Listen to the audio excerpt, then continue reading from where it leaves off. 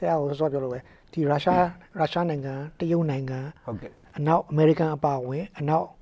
ဒီမိုကရေစီနိုင်ငံတွေအနေထောင်ဆရာဆရာဘယ်လိုသုံးသပ်လဲအော်ဒီနေ့ဟိုဒီနေ့ကျွန်တော်တို့သုံးသပ်ချက်မှာဒီအခြေခံအခုဒီနေ့ပြစ်စက်ကဖြစ်နေတဲ့အခြေအနေပေါ့ဗျာပြစ်စက်ကဟလာဝင်ရောက်ပြီးတော့ဟလာဒီအမေရိကန်မဟာမိတ်တပ်တွေဝင်နေရတယ်နောက်လူလူကိုကဲတင်ဖို့လှုပ်ထားတယ်ပေါ့ဗျာနော်စသည်အဖြစ်ဒါတွေက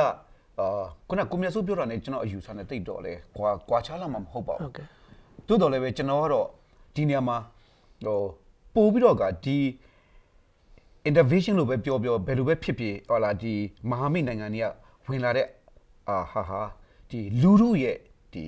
လူလူရဲ့သဘောတူညီချက်ပေါ့နော်ဟုတ်ကဲ့လူလူရဲ့လမ်းစဉ်ရသူတို့ပါပါဝင်လာတာဖြစ်တယ်အဲ့တော့ကျွန်တော်ပြောချင်တာကတော့သူတို့က secondary ကျွန်တော်ထားချင်တယ်ဆရာဟုတ်ကဲ့လူလူကပထမဖြစ်တယ် ဟုတ်ကဲ့လူလူကဆက်အာနာရှင်စနစ်ကိုဖျက်သိမ်းဖို့အတွက်ကိုတွိုင်းနေသူတို့ချင်းချင်းရှုပ်ထွေးတာတွေရှိမယ်လူမျိုးကြီးကဘာသာကြီးကဖြစ်တယ်ဖြစ်မယ်သို့တော်လည်းပဲအဲ့ဒီလမ်းကြောင်းမပြောင်းမဲနဲ့ပြည်သူလူထုကဆက်လက်ပြီးတော့အောင်ပွဲခံမှုချီတက်တဲ့အခါမှာခုနကဟုတ်လားမဟာမိနိုင်ငံတွေကဝင်ပြီးတော့ကနော်ဝင်ရောက်ကူညီပြီးတော့လူထုကိုကယ်တင်ဆွဲထုတ်ဖို့လုပ်တာဟာအင်မတန်မှပူပြီးတော့ကောင်းပါလေဆရာဒါကျွန်တော်ကတော့ပြည်တွင်းကိစ္စကိုဟုတ်လားပြည်တွင်းကိစ္စကိုဇောင်းပြီးပြီးတော့ကျွန်တော်ပြောချင်းဖြစ်တယ်ဟုတ်ကဲ့အဲ့တော့ပြည်တွင်းလူထုကအခရာဖြစ်တယ်လို့ကျွန်တော်ယူဆတယ်ပြည်တွင်းလူထုကသာဟာလာ တတမိုင်းဖြစ်တယ်ဟာလာပြက်ပြက်သားသားနဲ့ဟာလာဆီယနာရှင်စနစ်ကိုနော်အာနာရှင်စနစ်ကိုဆက်ပြီးတော့ကမရမနာမဲ့တဲ့အခုလိုပဲဆက်ပြီးတော့တော်လာနေတဲ့သူ့ကာလပတ်လုံးဟာအောင်ပွဲရလက်ခံလွယ်ရမယ်ခုနကလိုပဲဟာလာဝင်တဲ့အခါမှာလည်းနိုင်ငံတကာကခုနလိုအခုအမေရိကန်ဝင်တော့မယ်ဗျာဟာလာဘယ်နည်းစစ်မီပြီးတော့မလဲမသိတော့ဘူးဒါကခုနလူလူပုံမှာမူတည်ပြီးတော့ဝင်ရတဲ့အတွက်ကြောင့်မလို့ဒါအောင်ပွဲရနိုင်မယ်လို့ကျွန်တော်ယူဆပါတယ်ဒီတော်လိုင်းရဲ့အင်အားစုအနေနဲ့ပြည်သူအနေနဲ့ဟာဟုတ်ကဲ့ ကွဲပြားမှုတွေကိုတတ်နိုင်သလောက်ကျင်းမြောင်းအောင်လို့အဲဒါပေါ့နော်အဲ့ဒါတော့အားလုံးညီညွတ်မှုရှိညီညွတ်မှုရှိပြီးတော့ဟုတ်ကဲ့အဲစောစောပြောလို့ပေါ့ဒီမလိုလိုအပ်တဲ့အဖွဲ့အစည်းတွေရဲ့ဩဇာလွှမ်းမိုးမှုချုပ်နိုင်ရင်တော့ဟုတ်ကဲ့သူတို့အောင်ပွဲခံနိုင်မယ်ဟုတ်ကဲ့တစ်ဖက်ကလည်းဒီကမ္ဘာဒီမိုကရေစီနိုင်ငံတွေရောအိန္ဒိယချင်းမှာတူရကီလိုနိုင်ငံတွေကနေပြီးတော့ကူညီမှုတွေပို့ပြီးရလာမယ်ဆိုရင်တော့ဟုတ်ကဲ့နော်ဟုတ်ကဲ့အောင်ပွဲရမယ်အဲ့တော့ကျွန်တော်တို့ဗမာပြည်မှာလည်းကိုယ်ဒီမိုကရေစီအင်အားစုတွေကဟုတ်ကဲ့ညီညွတ်မှုရှိနိုင်မှ ညီညွတ်မှုမရှိပဲကွဲကွဲပြားပြားဖြစ်နေရတွေကတော့ဘိုးဘွားတရားမင်းကြီးဆင်းခဲ့တယ်တိုက်လို့မနိုင်ဘူးဟုတ်ကဲ့ဆရာကြီးနော်ဟုတ်ကဲ့ဒါဆရာကြီးဟုတ်ကဲ့ကျွန်တော်တို့ဆရာကြီးဗမာပြည်အနေထားနဲ့ပေါ့ဟုတ်နော်ကဲ့ဆရာဟုတ်ကဲ့ဟုတ်တော့ကဲ့နောက်ဆုံးမေးခွန်းပါဗျာနော်နောက်ဆုံးမေးခွန်းကျွန်တော်တို့သုံးသပ်အောင်နောက်ဆုံးမေးခွန်းကကိုမြတ်ဆိုလဲဆိုတော့နေတော့ပြောထားပေးပြီဒီဒီစီးရီးယားစစ်ပွဲဖြစ်တယ်လူတွေတိမ့်တဲ့ချီသေးပြီဓာတုတဲ့တဲ့တွေတုံးတယ်နော်ဒုက္ခတွေတွေကလည်းအိန္ဒိယနိုင်ငံနိုင်ငံတွေကိုပြန့်ပြန့်နေပြီဟုတ်ကဲ့အဲ့ဒီမှာကမ္ဘာကုလသမဂ္ဂကြီးကအထီးရောက်ရောက်မပါနိုင်ဘူး အမေရိကန်ကနေပြီးတော့စီးရေးရအပြစ်ပေးဖို့ဒါလည်း limited ပေါ့နော်ဟုတ်ကဲ့ဒီဓာတုဗေဒသုံးတဲ့ကိစ္စနဲ့ပတ်သက်ပြီးတော့ဒါအဲ့လိုလုပ်ရင်တော့ငါတို့အဲ့လိုချမယ်ဆိုတော့တကန်းပေါ့အပြစ်ပေးတာပေါ့စစ်ပွဲကြီးကိုဝင်တိုက်ပြီးသိမ်းမှအာဆက်ကိုဖြုတ်မှာတော့မဟုတ်ဘူးဟုတ်ကဲ့အဲ့ဒါအဲ့ဒီဟာကိုသူကလုပ်ဖို့ဥဒါဒါဒီရက်ထဲဒါဖြစ်ဖို့နေထားတွေရှိနေတယ်ပေါ့နော်ဟုတ်ကဲ့ဒီကိစ္စလှုပ်သိရင်မလှုပ်သိရင်အကယ်လို့လှုပ်လိုက်ရင်ဘာဖြစ်မလဲမလှုပ်လိုက်ရင်ဘာဖြစ်နိုင်မလဲနော်အဲ့ဒါလေးကိုကျွန်တော်တို့နည်းနည်းလေးစဉ်းစားအောင်နော်ဟုတ်ကဲ့ဥပမာဆိုတော့ ဘုရားဆိုပြောသွားတယ် moral obligation ပေါ့နော်လှုပ်တဲ့လှုပ်ထိုက်တယ်လူတွေကိုသိမ့်တဲ့ချီတတ်နေပြီဓာတုလည်းနဲ့တွေနဲ့တတ်နေပြီကြီးနိုင်ငံချင်းတတ်နေပြီကဘာကြီးကလည်းပိုက်ကြည့်နေမလားအဲ့ဒါတစ်ဖက်ကလည်းတရုတ်နဲ့ရုရှားနိုင်ငံအီရန်နိုင်ငံဆီးရီးယားကိုသူတို့ထောက်ခံအားပေးထားတယ်နော်ကျွန်တော်လက်ပိုက်ကြည့်နေတင်လားဒါမှမဟုတ်ရင်စစ်စံချိန်သမားတွေကဒါဒီစစ်စစ်တွေမလို့လာဘူးဆိုပြီးတော့ဒီတိုင်းပဲလူတွေကိုပေးသိနေမှာလားကျွန်တော်88အရေးတော့ဘုံတော့လူ3000နဲ့1000ကြားပေးသွားတယ်ဟုတ်ကဲ့ဘယ်နိုင်ငံမှဝင်မလာခဲ့ဘူးမလာခဲ့ဘူးဟုတ်ကဲ့ အဲ့မှာဝင်ဟိုလူဝင်တို့ဒီလူဝင်တို့ဆိုတာမျှော်နေခဲ့ရတာနော်ရဝမ်ဒါမှာလူတွေအများကြီးတက်တယ်တော်တော်ကြီးတည်သွားပြီနှစ်တွေတော်တော်ကြာကြီးတည်သွားပြီးမှဝင်တယ်ဘော့စနီးယားမှာလည်းလိုပဲနောက်ဆုံးကော့ဆိုကိစ္စမှာဒါကုလသမဂ္ဂကနေပြီးတော့ထောက်ကမှုနဲ့ဝင်တာမဟုတ်ဘူးနေတိုးကနေဒီအမေရိကန်နဲ့ဥဆောင်ပြီးတော့ဝင်သွားတာနော်ဒါကြောင့်မလို့ကော့ဆိုမှာလူတပ်ပွဲတွေကနေပြီးတော့ဆာဘီယာတပ်တွေစုံသွားတာနော်ဒါဒါတွေကသင်္ကန်းစာတွေအဲ့တော့ဝင်သိရင်မဝင်သိရင်ဝင်ရင်ဘာဖြစ်မလဲမဝင်ရင်ဘာဖြစ်မလဲ ကျွန်တော်လည်းသုံးသပ်အောင်ဟုတ်ကဲ့ဟုတ်ကဲ့အဝင်တဲ့မဝင်တဲ့ဆိုတဲ့နေရာမှာကျွန်တော်ကတော့ခုနပြောသလိုပဲနော်ဒီ moral obligation ရှိတယ်ကြီးနိုင်ငံငယ်ဟလာဒီတတ်နေတဲ့ဥစ္စာပေါ့ဗျာအဲ့ဒါကိုတော့ဒီနိုင်ငံတကာလက်ပတ်ကြည့်မနေသင့်ဘူးဆိုတော့ဒီဥစ္စာပေါ်မှာလဲ got to bring the justice ပေါ့အဲတရားမျှတမှုဟိုးတာဖြစ်ဖို့တော့လိုတယ်ဒါတွေကိုခုနပြောလို့ accountable လို့ပေါ့တာဝန်ယူဖို့လိုဆိုတဲ့အခါကျတော့ဒီလိုဒီတက်ဖြတ်တဲ့ ကိစ္စနဲ့ပတ်သက်ပြီးတော့သူကသူ UN ကပဲထောက်ခံသည်ဖြစ်စေမထောက်ခံသည်ဖြစ်စေဟလာဒါကျွန်တော်တို့ကတော့မလုံနိုင်လုံနိုင်တဲ့လူတွေကဟာလာဒါလုတ်တဲ့လုတ်ပေးတဲ့ဥစ္စာကိုတော့ကျွန်တော်တို့ကကြိုးစိုးရမှာနော်ကျွန်တော်ကကြိုးစိုးရမယ်ဒါပေမဲ့တစ်ခုရှိတာကဒီအတိုင်းတာတစ်ခုရှိမှာဘယ်လိုအတိုင်းတာတွေသွားမလဲဟလာဆိုတဲ့ဥစ္စာပေါ့အတိုင်းတာကနှစ်မျိုးရှိတယ်တစ်ခုကဒီဝင်ရောက်ဆက်ဖတ်မှုကဘယ်လောက်အတိုင်းတာရှိမလဲဆိုတာတစ်ခုနော်ဝင်ရောက်ဆက်ဖတ်မှုကြောင့် ကိုဘယ်လောက်ထိစီးပွားရေးကနိုင်ငံရေးထိခိုက်နေနာမလဲဆိုတဲ့ဥစ္စာတစ်ခုဘာဖြစ်လို့လဲဆိုတဲ့အခါကျတော့ကျွန်တော်တို့ကအခုဒီအမေရိက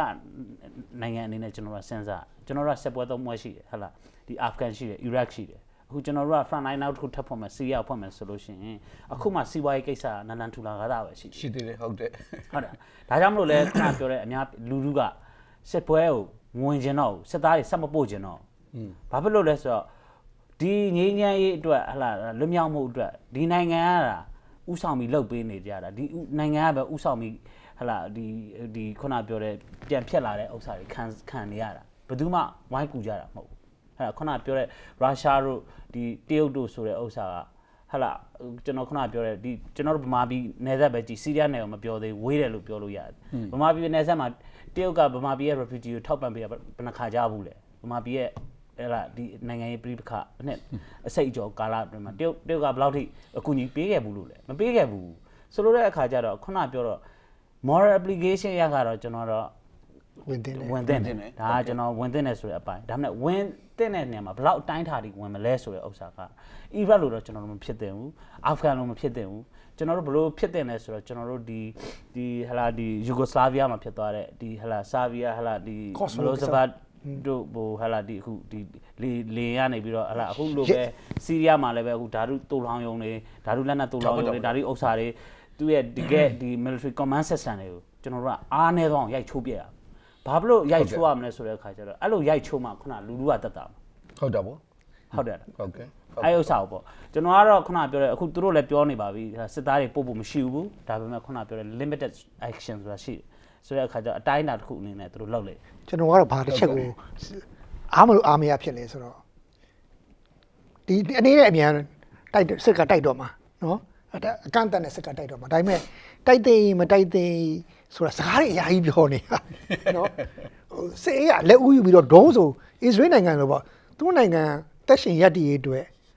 ဒုံးဆိုသူသူတိုက်ဆက်တိုက်ချက်ဘယ်သူမှပြောနေဘူးဘယ်သူမှလည်းကြေညာနေတိုက်ပြီးတော့မှသာပြီးတော့မှပြဿနာတွေဖြစ်တာမှရှင်းတာအီဂျစ်ကိုချောက်ရတဲ့နိုင်ငံဝင်တိုက်ပစ်တာဟုတ်လားအခုဟာတိုက်ဖို့ရေးတိုက်ဖို့ရေးဟာအိုဘားမားမှာဒီအမေရိကမှာပဲကြည့်ဟိုလွှတ်တော်ကနေပြီးတော့ဒီ Congress ကို Congress ရဲ့သဘောတူညီချက်ရမှ Congress ရဲ့သဘောတူညီချက်မရဘူးဆိုလို့ရှိရင် impeach လုပ်မယ် impeach ဆိုတော့သူ့ကိုပြန်ပြီးတော့အရေးတရားဥပဒေကအရေးပြန်ယူမယ်ဆိုတာလည်းပြောနေတယ်အဲ့တော့စစ်တိုက်မဲ့အရေးတကဘာလုံးကသိနေတယ်အဲ့တော့စီးရီးယားအာဆတ်ကစစ်တပ်ကလူတွေက အခုဆိုရင်ဘာဖြစ်လဲကျွန်တော်သတင်းတွေမှာဖာတာစစ်သားတွေကကြောင်းတွေမှာဝင်နေတယ်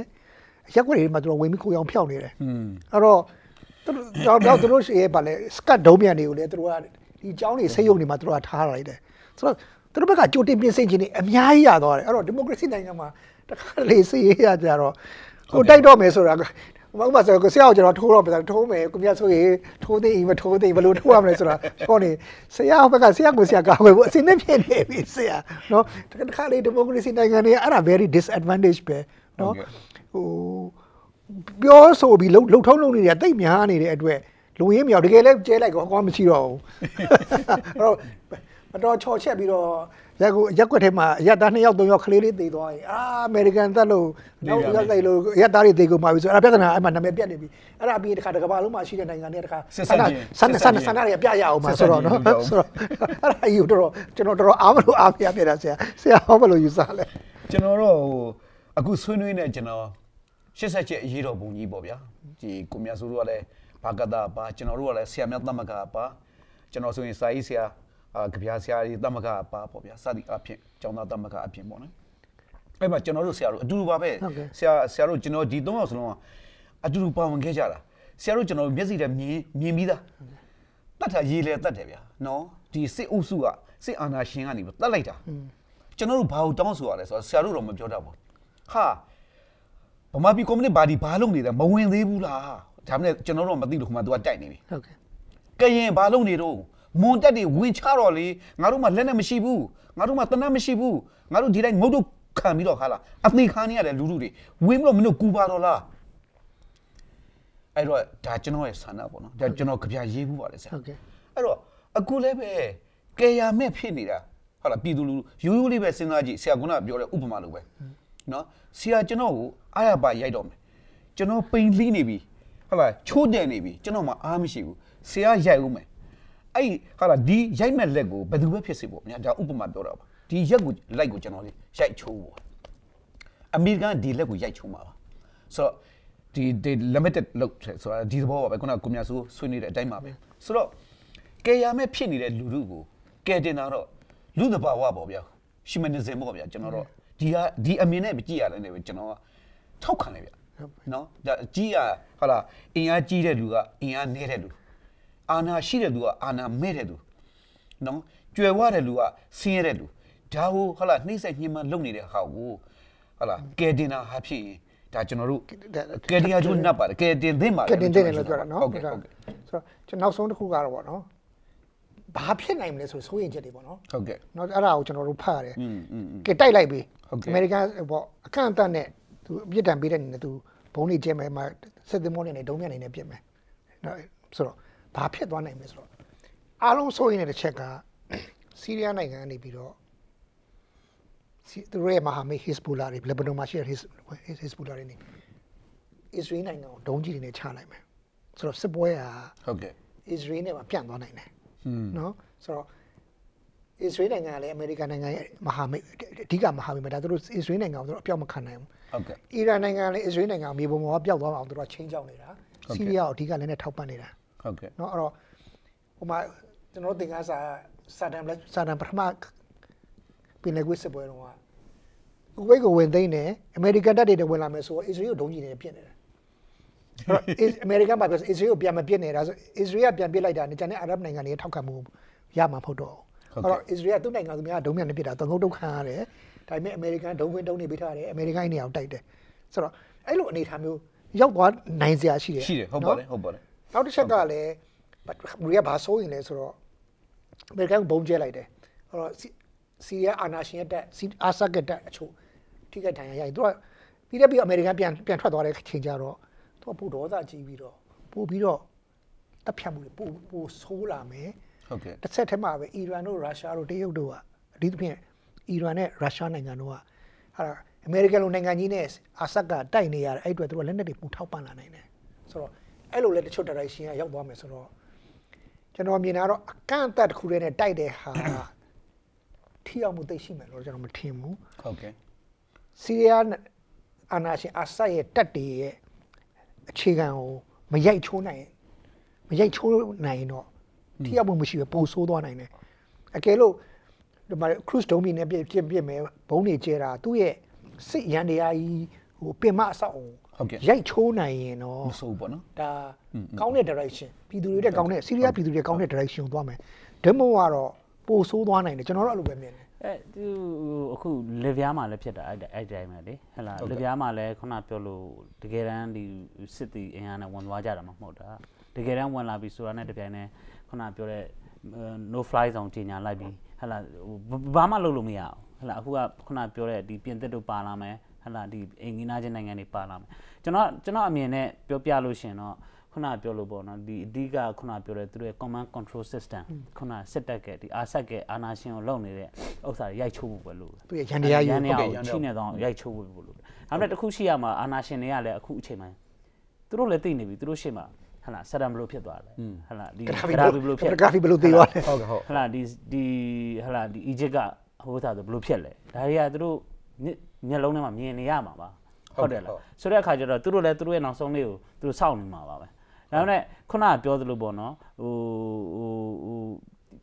ဟိုစစ်ကိုကျွန်တော်ကအခုပြောတာဒီစစ်ကိုဆန့်ကျင်နေတဲ့လူတွေကိုကျွန်တော်ကပြောချင်တာကအာတစ်ခုပဲရှိတယ်အဲ့ဒါဒီစစ်ပွဲကိုဆန့်ကျင်နေတယ်ဆိုလို့ရှိရင်ခုနကပြောတဲ့ဒီအာနာရှင်တက်နေတဲ့လူတွေကိုခင်ဗျားတို့ကထောက်ခံနေတဲ့ပုံစံမျိုးဖြစ်နေอืมဟึဟုတ်တယ်လားအဲ့တော့ခင်ဗျားတို့ကအာနာရှင်တွေကိုဆက်ထောက်ခံမှာလားဒါမှမဟုတ်ဒီစစ်ပွဲနဲ့ အာနာရှင်တွေကိုတိုက်ထုတ်မှာလားဆိုတော့နှစ်ခုပဲရွေးချယ်ဖို့လိုတယ် ဟုတ်ကဲ့ အဲ့လိုပဲကျွန်တော်ပြောချင်တယ် ဆရာဘာ ဒီနေ့စစ်ဆန့်ကျင်နေတဲ့လူတွေ ဟုတ်ကဲ့ဟုတ်ကဲ့ဟုတ်ကဲ့ ဆရာဘာပြောစရာရှိတယ်ကနောက်ဆုံးနေနေပါဆရာ ဆရာကခုနပြောတဲ့အချက်ကတော်တော်ဒါစိတ်ဝင်စားကြကောင်းပါတယ်ဒီစစ်ပွဲပေါ့ဗျာကျွန်တော်တို့တတိယကဘာစစ်အထိဖြစ်သွားနိုင်တယ်ဆိုတဲ့သဘောမျိုးပါပဲเนาะအင်မတန်မှ ဒါစဉ်းစားစရာဖြစ်တယ် စဉ်းစားကြတယ်နော် သို့တော်လည်းပဲအာကိုမြတ်စိုးပြောသလိုပဲအာမလုပ်လို့လည်းမဖြစ်ဘူးဗျဝင်မတော့မတိုက်လို့လည်းမရအောင် ကြီးနိုင်ငံချင်းဖြစ်နေတာပေါ့နော်အဲ့တော့ဒီလိုလုပ်တဲ့အခါမှာခုနအကန့်အသတ်နဲ့လုပ်နိုင်ပါစေပဲကျွန်တော်တို့ကတော့ဆန္ဒပြုအောင်ပါဗျာအကန့်အသတ်နဲ့ထိထိရောက်ရောက်လုပ်နိုင်ပါစေအကန့်အသတ်နဲ့ထိထိရောက်အောင်လုပ်နိုင်ပါစေပေါ့နော်နော်ဘာကြောင့်လဲဆိုတော့ Israel ဆရာကကပြောတာအင်မတန်ကောင်းပါတယ်ဒီချက်က Israel ဝင်လာမယ် Israel နဲ့အာရကဘာနဲ့ Israel နဲ့ဖြစ်လာပြီဆိုလို့ရှိရင်အမေရိကန်ဘယ်လိုဆက်ရမလဲအင်္ဂလန်ရောဘယ်လိုဆက်ရမလဲစသည်အဖြစ်ဒီမဟာမိတ်နိုင်ငံတွေဘယ်လိုဆက်ရကြမလဲအဲ့တော့သူတို့ကပါတော့မယ်ပါပြီဆိုလို့ရှိရင်ဒါ အီရတ်ကဘာနဲ့အခြားဒီဒီမိုကရေစီနိုင်ငံတနည်းအားဖြင့်တော့ဒီနိုင်ငံတွေနဲ့ဟာဟာလားမဟာမိတ်နိုင်ငံတွေနဲ့ဟာဆီးရီးယားနဲ့ပေါ့နော်နော်ဆက်ပြီးတော့ကဟောစစ်ပွဲကြီးဖြစ်သွားနိုင်လာဖြစ်ကောင်းဖြစ်သွားနိုင်တယ်ပေါ့ဖြစ်သွားနိုင်တယ်ဒါမှမဟုတ်ဟောအိုဘားမားလည်းပဲဟာလားနိုင်နိုင်ချိန်ချိန်နဲ့သူလည်းလုံပုံရပါတယ်ဟုတ်ကဲ့ဒါမှမဟုတ်ဒီစကားထွက်လာတယ်ပေါ့နော်အကန့်အသတ်နဲ့သူတိုက်မယ်ဆိုတာဟုတ်ကဲ့နောက်အဲ့ဆုံးဒါနေပါနေရတော့ကျွန်တော်ကအဒီကုန်းချုပ်နေတယ်ပေါ့နော်ကျွန်တော်တို့ဗမာဟိုပေါ့စစ်တွေဖြစ်လိုက်တယ်စစ်တွေအီရတ်မှာစစ်ဖြစ်တယ်အာဖဂန်မှာဖြစ်တယ်အယ်ကိုင်းဒါတို့ကဘာလုံးမှာတိုက်နေရတယ်နော် အမေရိကန်ပြည်သူတွေဒီဒီနေထိုင်တဲ့နေရာတွေမှာလည်းလုံခြုံမှုရှိအောင်ငွေကြီးတွေအကုန်ခံပြီးတော့ချားမကြည့်မြကျွန်တော်တို့ခီးသွားတယ်လင်းမြန်သွားတယ်ဘလို့ဘလို့ရှာလဲဖဏလည်းချုပ်ရတယ်ကပတ်ပါချုပ်ရတယ်နော်ဟိုအကုန်ရှာခံအဲ့လိုပေါ့အချိန်နေငွေတွေအကုန်ခံပြီးတိုင်းပြည်ကိုကာကွယ်နေရတယ်အဲ့လိုကာကွယ်ပြီးတိုက်ပွဲစစ်တွေဖြစ်တဲ့ခါကျတော့စီးပွားရေးတွေကြာလာတယ်ဒီစီးပွားရေးကြာလိုက်တဲ့ဒဏ်ကျွန်တော်တို့ပြည်သူတွေဟာလာစာဝန်တွေတော့အများခံစားရတယ်ဒါကျွန်တော်တို့ကျွန်တော်တို့ကဒီနိုင်ငံမှာနေတဲ့အတွက်လက်တွေ့ကျွန်တော်တို့ခံစားရတယ်ဒါအခုမှနည်းနည်းလေး ကောင်းတယ်ဆိုတော့မဟုတ်နည်းနည်းလေးအသက်ရှူလို့ရလာတဲ့အနေအထားမှရှိတဲ့အတွက်သမ္မတအိုဘားမားနေနေရလဲစစ်ပွဲရောသူ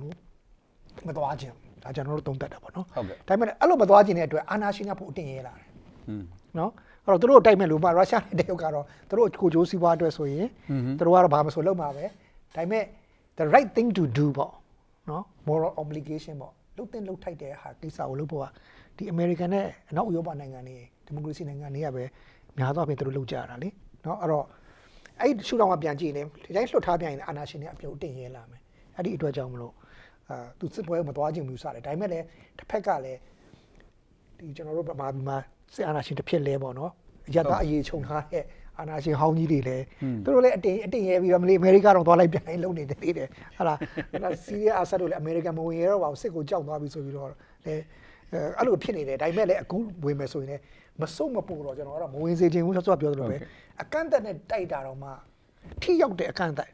နော်အဲ့ဒါသူရဲ့အဓိကပင်မစစ်ရန်နေရာကိုရိုက်ချိုးပြီးချိနေကောင်လုပ်နိုင်တဲ့အကန့်အသတ်နဲ့ထိရောက်တဲ့တိုက်ခိုက်မှုမျိုးကိုလုံးမသာပြည်သူတွေကိုစီးရီးယားပြည်သူတွေကိုအာဏာရှင်လက်အောက်ကကယ်နိုင်မယ်လို့ယူဆပါတယ်နော်ဟုတ်ကဲ့ကဲဒီတစ်ပတ်တော့ဒီလောက်နဲ့ကျွန်တော်ရက်လိုက်ရအောင်နော်ဟုတ်ကဲ့